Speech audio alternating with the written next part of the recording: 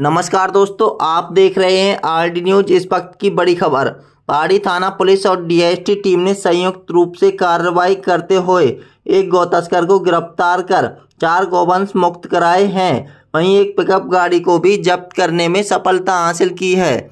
DST team और पहाड़ी थाना पुलिस ने संयुक्त रूप से कार्रवाई को अंजाम दिया है। पहाड़ी थाने के एएसआई शेर सिंह ने बताया कि भरतपुर आईजी राहुल प्रकाश एवं डी डीएसपी राजेश मीणा के निर्देशन में लगातार ऑपरेशन नंदी प्रहार चला रखा है, जिसके तहत कार्रवाई को अंजाम दिया गया है। जहाँ डीएसटी टीम के साथ मिलकर एक बड़ी कार्रवाई की गई है और चार गोवंशों को मुक्त कराया गया है।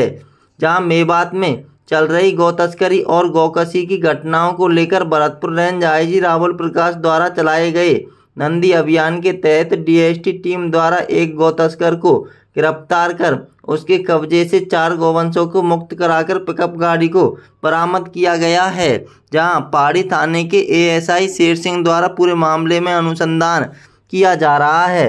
डीएसटी टीम पिरवारी सुल्तान सिंह और एएसआई शेर सिंह ने बताया कि मुखबिर द्वारा सूचना मिली कि जयपुर से एक पिकअप गाड़ी में गोवंशों को भरकर हरियाणा ले जाया जाएगा जो गणसोरा और मोटुका गाँव के जंगलों से होकर निकलेगी, जिसको लेकर डीएसटी टीम प्रभारी सुल्तान सिंह की टीम द्वारा गणसोरा और मोटुका के जंगलों में नाकाबंदी की गई, जिसमें टीम द्वारा थाना सीकरी ताजपुर निवासी शाहिद पुत्र ममसूरा को मौके से गिरफ़्तार कर उसके कब्जे से दो गाय और दो बछड़ों को मुक्त कराकर पिकअप गाड़ी को जब्त किया गया है और गौवंशों को गौशाला भिजवा दिया गया है।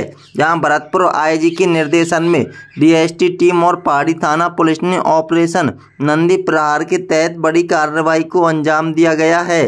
जहाँ डीएसटी टीम अपनी मेवात क्षेत्र में महत्वपूर्ण भूमिका निभाती है। जिसके तहत मेवात क्षेत्र में सूचना मिलते ही अलर्ट होते ही नाकाबंदी कर देती है, जहाँ थाना क्षेत्र की पुलिस का भी सहयोग लेते हुए कार्रवाई में सफलता हासिल करती है। उसी क्रम में अब डीएसटी टीम मेवात क्षेत्र में ऑनलाइन ठग सहित अन्य अपराधियों के लिए अभियान चला रही है। जहाँ दिन रात एक कर डीएसटी टीम द्वारा लगातार अपराधियों को गिरफ़्तार किया जाता है, जहाँ डीएसटी टीम ने एक गौ तस्कर को गिरफ़्तार कर चार गौवंशों को मुक्त कराने में सफलता हासिल की है। अब पूरे मामले में अनुसंधान पहाड़ी थाने के एएसआई शेर सिंह द्वारा किया जा रहा है। आरोपी को न्यायालय में पेश कर रिमांड भी लिया गया है और आरोपी से पुलिस द्वारा गहनता से पूछताछ की जा रही है। कई बड़े खुलासे होने की संभावना